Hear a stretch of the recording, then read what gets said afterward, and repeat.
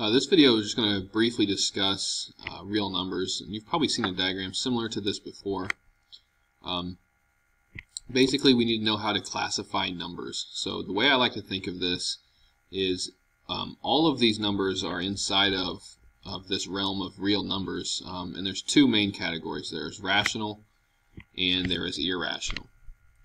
Um, and so inside of rational numbers, you have a lot of subcategories. But in irrational, those things are kind of just out there by themselves. Um, so I'll start with rational and I'll go all the way to the inside. Um, and the first subcategory, the very smallest subcategory numbers that you can come up with is natural numbers. And those are just simply the numbers that you use when you count. So you start at 1 and you go uh, up by 1 each time until you get to infinity, right? So those, we're just going to keep on uh, thinking about those as the numbers that we use when we count. If we take all those numbers, all those natural numbers, and throw in 0, now we are at the whole numbers. and then if we throw in the negatives of all those numbers, then we're at the integers.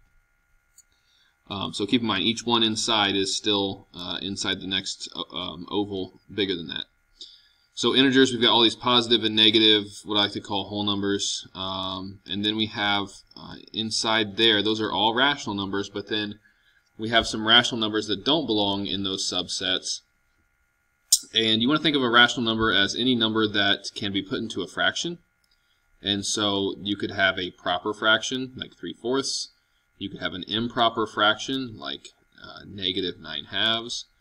Um, and then you could have a decimal that either stops, like this one, 11.23, or a decimal that repeats.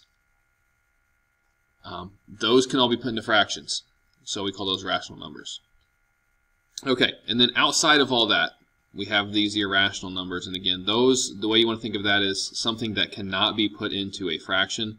And so what you're going to see with those kinds of numbers are numbers that have a, a decimal that um, has no pattern to it. It will go on forever. It does not stop. It does not repeat.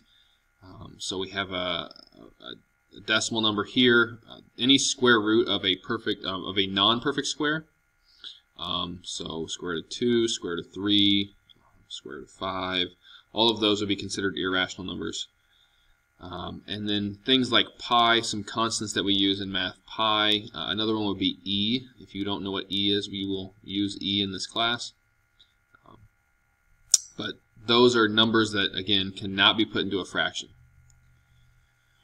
Um, and then the only other thing I want to talk about in this video are some properties of real numbers. And these are properties that you should know. Uh, the commutative property says if I, uh, uh, commutative property of addition says if I add any two numbers together, it does not matter in which order I add them, right? So an example here would be something like 2 plus 3 is the exact same as 3 plus 2. Both of those equal 5, right? That is the commutative property. The associative property says if I'm going to add three numbers together, it doesn't matter which two I add to uh, together first. Um, as long as I add all three of them together, I'm going to get the same thing. So if I do 2 plus 3, and then I add 4, that should be the same as if I do 2 plus the sum of 3 and 4. Right? So here I would have 5 plus 4, and over here I would have 2 plus 7, both of those will equal 9. And then we have the distributive property that says if we have a uh, product um, of some number times a sum, I can just distribute that number uh, out front and I can do the products of each one of those and then add those together.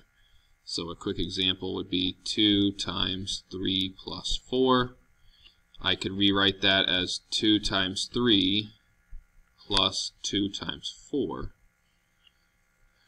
Um, and I should get the same thing. So over here, technically I could say 2 times 7, which is going to give me 14, whereas over here I would have 6 plus 8, which again would give me 14. So these are all three properties that you should have seen a long time ago. Uh, the commutative property, the associative property, and the distributive property. Um, but those are all the properties of real numbers.